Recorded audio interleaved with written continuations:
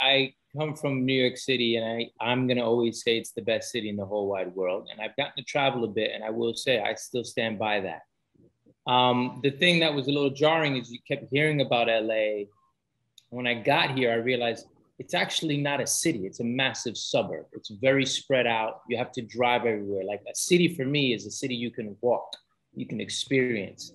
And this, you know, city, LA, it's it really is a very sort of spread out thing. So it's um it was a bit isolating at first because again i'm used to being around people and the energy of new york. You can just sort of get on the train the bus walk around. You're going to be surrounded by people. La you have to kind of find your people. You have to find your tribe out here. And i think once you do then it's pretty incredible. Also i mean it's got for me one of the things is um, nature which is a little bit trickier in New York City. So New York is the concrete jungle, and if you want nature, you know, you either go into like a park, Central Park, or you go upstate, or Long Island, or you know. So what's nice in LA is like you can have access to nature and hikes and beaches and the ocean and all that stuff pretty quickly and easily. So I don't compare the two. I know some New Yorkers hate LA. I don't necessarily have any hate at all for it, actually.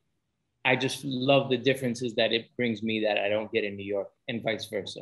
I still love, I go back home all the time.